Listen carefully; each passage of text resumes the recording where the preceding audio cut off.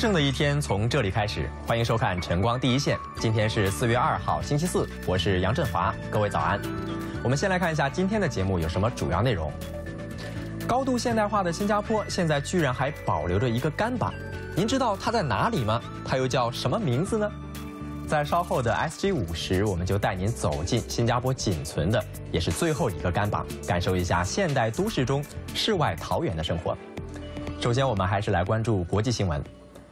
刚刚发生了人质挟持危机的土耳其最大城市伊斯坦布尔再次发生枪击案，而这一次竟然是当地的警察总部遭到攻击，结果一名武装分子在交火中被当场击毙，另一名武装分子则趁乱逃走，警方也有一个人受伤。根据当地官方媒体的报道，在警察总部前被击毙的是一名女性武装分子，她当时还随身携带了炸弹。目前还不清楚星期三发生的这起武装攻击是哪个组织干下的。警方已经封锁了事发现场周围的道路，全力搜捕另一名被打伤的武装分子。在这之前一天，两名枪手闯入伊斯坦堡法院，并挟持了一名检察官为人质。警方和枪手展开激烈搏火，结果枪手和人质全部丧命。泰国军政府宣布取消军阀管制，并以新法令取代。新法令将赋予首相绝对的权利。反对军人执政的人士警告，新法令可能比现有的军阀管制更严厉。军人政府是在泰王普梅蓬的御准下解除历时长达十个月的军阀管制。泰王御准后，军政府昨晚通过电视宣布这项消息。首相巴育指出，政府将启动临时宪法第四十四条，这宪法赋予首相以行政命令的方式压制国家安全所面对的威胁。根据这个条款，军人政府可无需逮捕令就可以扣押个人。泰国军方去年五月二十号宣布在全国实施军阀管制，两天后军方发动政变，从英勒看守政府手中接管政权。另一边，超级台风美沙克预计在未来两天内登陆菲律宾。菲律宾当局已经向居住在东海岸的居民和准备前往东海岸的游客发布警告，并特别强调。在海里冲浪要格外小心，因为台风可能卷起巨浪。这是从国际太空站拍摄的超级台风美沙克的运行图像。专家预计，它将在这个星期六登陆菲律宾东海岸。不过，国家气象署表示，这股五级台风预计在登陆时会减弱到二级。联合国儿童基金会表示，工作人员将随时待命，并会密切注意灾害给儿童造成的疾病。把视线拉回本地，酒类管制措施昨天起生效。条例实施第一天，有咖啡店业者提早半个小时在晚上十点停售酒精饮料，以免触犯法令。警方也在牙龙以及罗拔申码头展开宣导活动，提醒公众和店家有关新法令。我们的记者聂国威昨晚跟随警方行动，来看他发回来的报道。新条例实施后，从晚上十点半到早上七点，公众不准在公共场所饮酒。零售商也不能在这期间售酒。这家位于牙龙十七巷的咖啡店，虽然持有酒牌，可售卖啤酒给咖啡店内饮用的酒客到午夜十二点，但为了避免触犯法令以及不愉快事件发生，业者自行从晚上十点起不售酒给酒客。警方昨晚连同社区伙伴以及基层组织，在牙龙分发传单，提醒公众不要在公共场所，比如后巷饮酒。In enforcing the act, police take a calibrated approach. So when a person is found drinking in public during the restricted hours, police are empowered to request the person to dispose of his liquor. Uh, for repeat offenders, uh, police may take stiffer actions, such as um, issuing a composition fine or even prosecution in court. 牙龙被列入酒类管制区，所实施的条例更严格。 负责牙龙区事务的马林百列集选区议员花地马医生相信，新法令将进一步改善噪音问题，也让环境变得更清洁。I'm actually very positive with this, and I hope to see some improvement. And we will monitor the situation on the ground. We will give feedback to the authorities and the police as necessary. We will be working with them. 在酒类管制区以外的罗拔山码头，警方也展开巡逻，并分发敬酒传单给年轻人。据观察，晚上十点半之前还有人在河岸饮酒，但之后人们开始散去。代表六十九名餐饮场所和夜店的非营利组织 Singapore River One 还在观察新条例如何对沿岸商家带来影响。I think we want to adopt a wait and see attitude because um, I think the convenience stores are the ones immediately affected. So as for the bars, I think we will see how this all pans out. 过去不少年轻人喜欢聚集在罗拔生码头的公共场所饮酒。随着新条例的实施，大部分的年轻人已经知道，在晚上十点半之后不能够在这些地点饮酒，所以改喝非酒精饮料或到夜店继续饮酒。 新传媒新闻记者聂国威报道。邻国马来西亚开始征收百分之六的消费税，不过这个新措施对于本地的消费者来说，或许不会有直接的冲击。还有在马国设工厂的大型本地业者表示，他们甚至还因此节省了成本。对于以消费税取代销售和服务税的措施，部分在马国设有工厂的本地业者表示欢迎。其中，受访的本地家具零售商就因为这项新调整而降低成本。Because currently we are paying a 10% sales tax on our raw materials purchased locally, with the introduction of GST, our sales, our tax involved is only 6%. It means there's a savings of 4% in terms of our raw materials. 不过，新加坡制造商联合会表示，为了符合新条例，业者会有额外支出。 另外，小型业者预计会受到最大的打击。营业额少于五十万令吉的企业无需成为消费税注册公司，因而无法索回购买原材料所支付的消费税。周末的时候呢，我很喜欢跑到接近大自然的地方，比如说蓄水池或者五级芝麻山这样的地方去放松休闲。但是自从去年五级芝麻山开始整修之后，周末似乎就少了一个好去处。不过在等待了半年之后，五级芝麻自然保护区的第一阶段整修工程终于完成。自然保护区将从这个星期六起局部重新开放。喜欢大自然的公众，从这个星期六开始，每逢周末都可以通过海西德自然公园直达五级芝麻山顶。国家公园局表示，通往山顶的主要通道将在星期六和星期天早上的七点到傍晚六点开放，周一到周五就算是公定假日，保护区也不开放，访客必须按指定的路线踏青。文稿也表示，第二阶段的整修工程还在进行中，预计十八个月会完成。新传媒将把关于建国总理李光耀先生的纪录片制成 DVD 光碟，星期一开始售卖。新传媒是在过去一周李光耀先生逝世后，通过电视频道播放了这一系列的纪录片，以纪念这位建国领袖。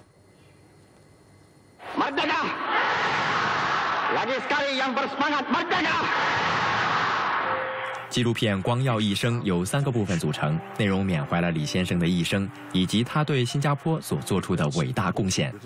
新传媒表示，纪录片播出后收到许多反馈，希望可以录制成 DVD，方便公众购买。《光耀一生》的精装 DVD 的中英文版本将在来临的星期一率先发售，售价是二十四块九毛。马来和淡米尔语的版本将在两个星期后发售。为感谢李先生一生为新加坡所做的贡献，新传媒将把第一次公开发售的净收益捐给公益金。公众也可以到亚洲新闻台的网站和 Toggle 观看这些纪录片。我们常把睡在钱上当成一句笑话，但是现在这一幕呢，正在日本真实的上演，而且日本人垫着睡觉的钱还高达三千亿美元。这究竟是怎么一回事？日本人为什么要这么做呢？稍后的纸上风云为您分析。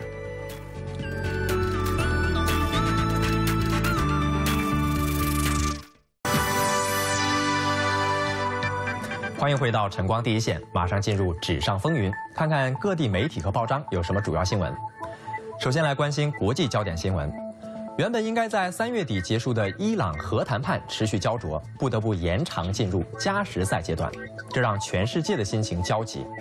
因为如果谈判能够达成一定的协议，那么它将是持续了长达十二年的伊朗核争端结束的标志。但是如果最终谈判各方不欢而散，那么有可能激化矛盾，进而引发军事行动，造成中东局势更加的不稳定。那么我们先来了解一下伊朗核谈判都是谁在谈，又在谈些什么？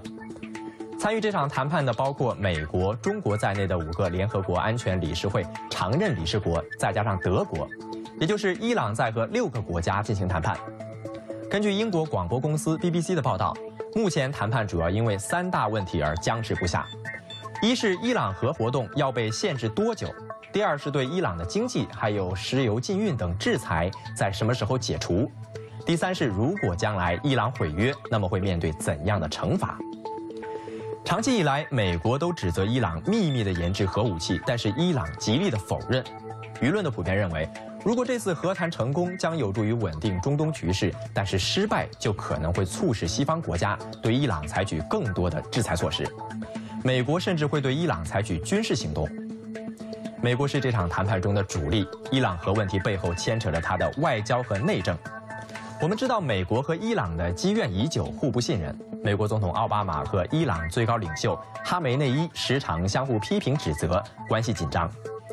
除此之外，根据美国有线新闻网的分析，伊朗核问题还受到美国盟友以色列的影响。上个月，以色列总理内塔亚胡到美国国会发表演讲，对谈判可能达成的协议表示强烈的反对。他认为，协议将非常糟糕，不但为伊朗发展核武器铺平道路，还可能引发地区的军备竞赛。而在美国国内，伊朗核问题是美国民主和共和两党交锋的焦点之一。掌控着国会的共和党人不但绕开总统奥巴马和白宫，邀请内塔尼亚胡来演讲，还向伊朗发送公开信，警告说，即使和谈谈判达成协议。下届的美国总统也可能会让协议一笔勾销，这无疑使得本来就复杂的和谈雪上加霜。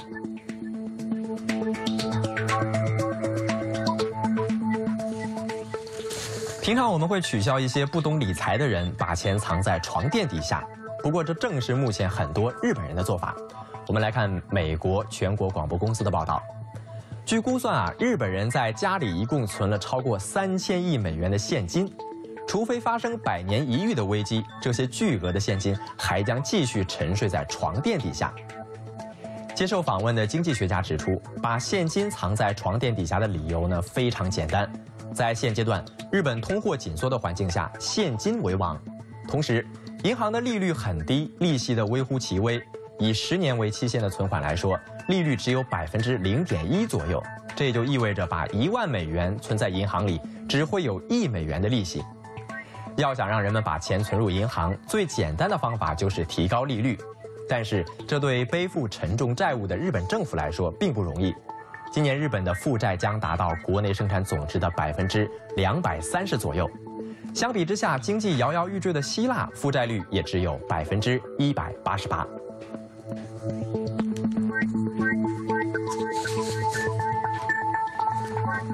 接下来我们来看，因为国际原油价格持续疲弱，在过去四个月里，美国的石油行业已经裁员大约十万人。据今日美国报报道，裁员大多来自石油勘探和油田服务公司，估计今年这些领域还会继续裁员。另一方面，低油价加上西方制裁的影响，导致俄罗斯将面临长期的经济衰退。世界银行预测，俄罗斯今年国内生产总值将萎缩百分之三点八，明年还会持续走低，这比三个月前世界银行给出的预测更为悲观。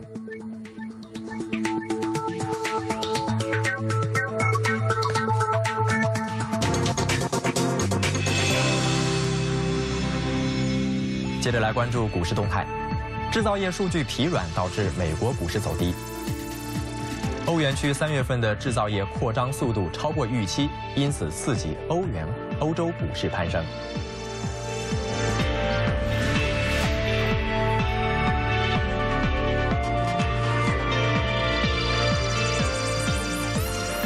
本地股市方面，海峡时报指数昨天基本没有变化，横板收市。投资者等待美国即将公布的就业数据，再加上明天是公共假期，所以市场持观望态度，交易的气氛淡静。个股方面，旅店置业的股价上扬一分，必是报四块一毛六。公司日前宣布通过入股一家公司，在伦敦购入两个房地产项目。华侨投资研究公司指出，本地房地产市场疲弱，旅店置业积极地将旗下资产多元化，投资海外高素质资产。因此，分析师维持买入评级，目标价是五块三毛二。最后，我们来看今早刚开盘的亚洲股市。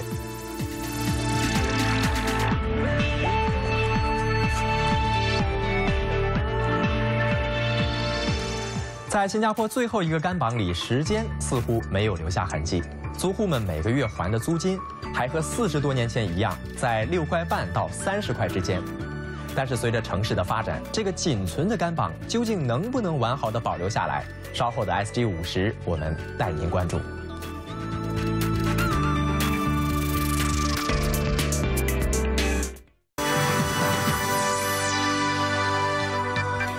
欢迎回到晨光第一线。今年是新加坡五十周岁的惊喜生日。为了纪念和回顾过去，我们特地制作了系列报道，带您重温这些年我们的国家、社会和民众所走过的路。今天的 SG 五十，我们要带您回甘榜走走。现在的新加坡车水马龙，高楼林立，充满着现代化的气息。但是五十年前的新加坡却是另外的一番风景。当时很多人都住在甘榜里，过着朴素悠闲的生活。你是不是也曾经在甘榜住过呢？随着社会的发展和进步，甘榜逐渐的消失，人们开始远离大自然，从乡村搬进了整齐划一的政府组屋。如果你小时候也住过甘榜，当时的生活方式，您是不是怀念呢？Oh, last time kampung you can go in and out in any any any houses, it's okay.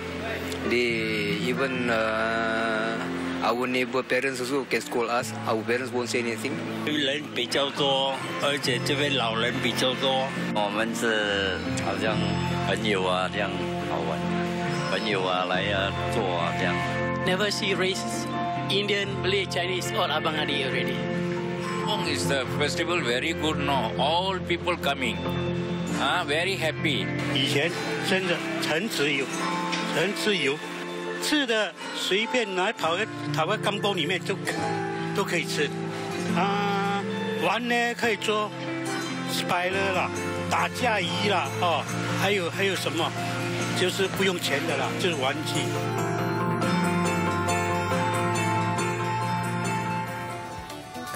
土地平旷，屋舍俨然，阡陌交通，鸡犬相闻。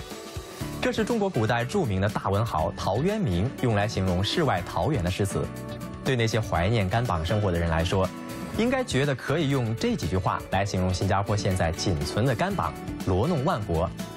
因为在他们的心目中，这个位于我国东北部的最后一个甘榜，其实就是高楼林立的现代新加坡中难得的世外桃源吧。您知道甘榜罗弄万国是什么时候开始建立的吗？它现在又成了什么样子的呢？就让我们带您走进这最后一个甘榜，一起重新找回那已经快要被遗忘的甘榜精神吧。一九五六年时，经营中药材生意的孙朝坤，在买下这片位于杨错港路附近的土地之后，在这里安家落户，并把土地租人盖房子。今年已经六十岁的贾米尔卡姆萨就是这里其中一个居民。他自一九六五年就和家人搬来甘榜罗弄万国居住，到现在一晃已经在这儿住了足足有五十年。I love to see all my plants greenies, and then sometimes I can talk to my plants. You know, fresh air in the morning, and then you can see birds flying. You know that, then you can see the sunrise. Oh, it's very lovely, like you know. Everybody are very friendly, very helpful. You know, uh, when like old ladies and that, what have you eat? Really? So yeah, yeah. What's your mom cook? Them? If sometimes my mom also cook extra, you know, just want to give all the neighbors. Then we don't hope for returns, you know, because when you cook, everybody can smell what you cook. You know, collect curry, whatever you cook, you can people can hear. Then according to our Islam, so when we smell that we have to give lah, you know, give make them happy. Then I'm I'm more than happy when I see people happy. Until today, you know, I I'm very happy to see people happy. 贾米尔现在居住的屋子还是他的父亲当年建造的，木质的结构透露出一种朴素的乡村气息，坚固的混凝土底部确保了房子的美观和实用。而那个用新板搭起的屋顶，正是传统干板屋最鲜明的特色。让人一看到，仿佛就回到了旧日时光。在这个占地面积大概三个足球场大小的干榜里，现在还住了二十八户人家。时光仿佛没有在这里留下什么痕迹。放眼望去，四周仍然是低矮的干榜屋，屋子前后被美丽的花朵和高耸的大树包围着，处处弥漫着一股宁静悠闲的氛围。偶尔也会有好奇的年轻学生或者外国游客走进这里，希望能在这里感受到不一样的新加坡。住在甘榜罗农万国的居民们，现在每个月缴交的租金是非常低的。作为这片土地继承人之一的孙女士，根据住家面积的大小，每个月只收取六块半到三十块之间不等的钱作为租金，而且四十多年来一直没有变过。不过，随着时代的进步，社会的发展，这样的情况究竟还能保留多久？政府对于甘榜罗农万国到底有什么样的打算呢？根据市区重建局的计划，坐落在大片祖屋和私宅之间的甘榜罗弄万国，未来可能会被发展成为一个规划良好、设施完善的住宅区的一部分。而这个计划也符合政府的2014总蓝图。不过，当局目前暂时还没有宣布具体的时间表。The government can always acquire the land uh, through compulsory acquisition, so there's no restriction or no, no, no impediments. It's just whether the government needs the land for, for planning new housing, new infrastructure. So if they don't need the land currently, they probably will not acquire it. 按照惯例，一个总蓝图需要十到十五年的时间付诸实现。居民们希望政府能够考虑干榜存在的意义，尽可能的把它保留下来。Last time I said when they take away, usually this area uh, flood by my tears, lah, you know. So it's, it's, it's a waste, lah, you know. Uh, if, if they don't take away, that means you give a chance to other people to to know about kampong, to learn about how we live in kampongs, you know. And then, of course, they don't forget because because people, foreigners also, they, they're very glad the, the, the government here still preserve this place, you know. I heard they said, wow, so good at Singapore, they don't forget the roots, you know. Which is so something like paradise to them. 这最后一个干榜最终会不会消失，没有人知道。但是我想，其实我们真正想要和需要留住的，并不是干榜的形式，而是它的精神。那种不斤斤计较、大家互相帮助、犹如一家人的生活态度。好了，感谢您收看今天的晨光第一线，也欢迎您浏览八频道新闻及时事节目网站，以及下载我们的应用程序。我是振华，晨光第一线，明天再见。